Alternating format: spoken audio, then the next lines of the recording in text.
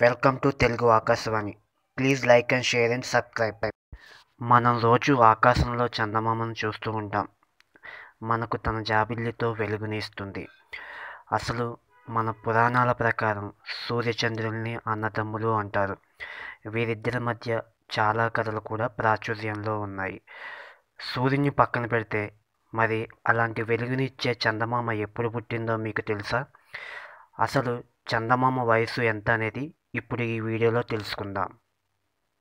సూర్య వ్యవస్థ ఏర్పడిన ఐదు కోట్ల సంవత్సరాల తర్వాత చంద్రుడు పుట్టినట్టు శాస్త్రవేత్తలు గుర్తించారు.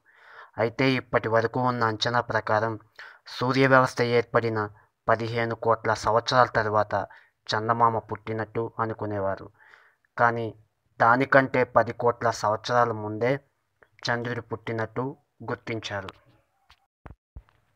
రీసెంట్గా జరిపిన పరిశోధనలో సూర్య వ్యవస్థ నాలుగు వందల యాభై ఆరు కోట్ల సంవత్సరాల క్రితం ఏర్పడినట్టు భావిస్తున్నారు. అంటే సూర్య వ్యవస్థ ఏర్పడిన ఐదు కోట్ల సంవత్సరాల తర్వాత చందమామ పుట్టినట్టు మనం భావించాల్సి ఉంది.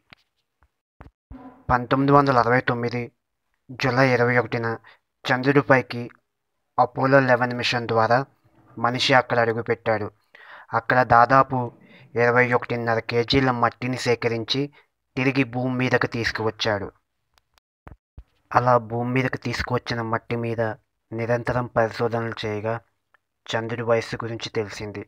సో దీని ద్వారా భూమి ఎప్పుడు పుట్టిందో అన్న విషయం తెలుసుకోవచ్చన్న వాదన వినిపిస్తుంది.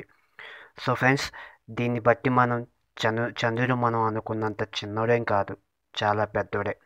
సో ఫ్రెండ్స్ మీకు కనుక ఈ వీడియో నచ్చినట్లయితే లైక్ చేయండి షేర్ చేయండి అలాగే కింద కామెంట్ కూడా చేయండి. అలాగే నా ఛానల్ని కూడా సబ్స్క్రైబ్ చేసుకోండి.